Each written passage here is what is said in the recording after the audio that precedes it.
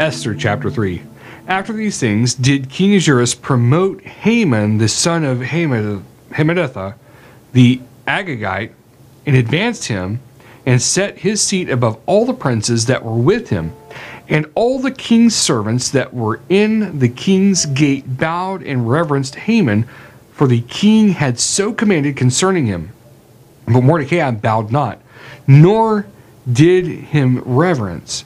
Then the king's servants which were in the king's gate said to Mordecai, Why transgress you the king's commandment?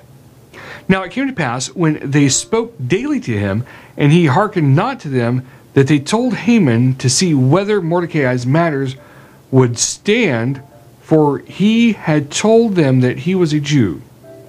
And when Haman saw that Mordecai bowed not, nor did him reverence, then was Haman full of wrath.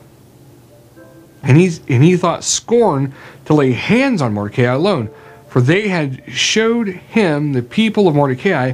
Wherefore Haman sought to destroy all the Jews that were throughout the whole kingdom of Ahasuerus, even the people of Mordecai.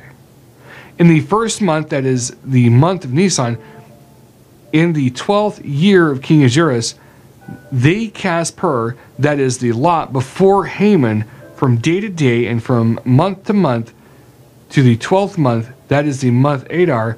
And Haman said to the king Ahasuerus, Where is a certain or there is a certain people scattered abroad and dispersed among the people in all the provinces of your kingdom, and their laws are diverse from all people. Neither keep they the king's laws, therefore it is not for the king's profit to allow them.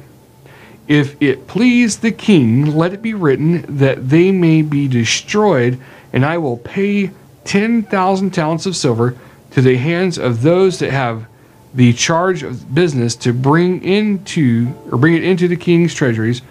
And the king took his ring from his hand and gave it to Haman, the son of Hammedatha, the Agagite, the Jew's enemy.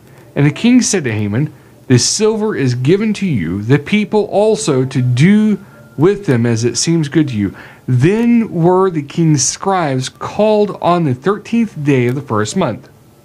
And there was written according to all that Haman had commanded to the king's lieutenants and to the governors that were over every province and to the rulers of every people of the every province according to the writing thereof and to every people after their language, in the name of King Ahasuerus was it written and sealed with the king's ring.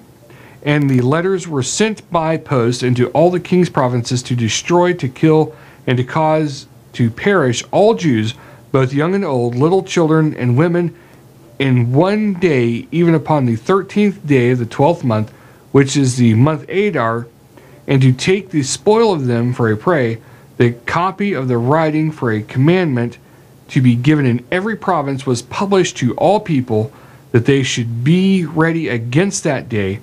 The post went out, being hastened by the king's commandment, and the decree was given in Shushan, the palace, and the king and Haman sat down to drink. But the city Shushan was perplexed.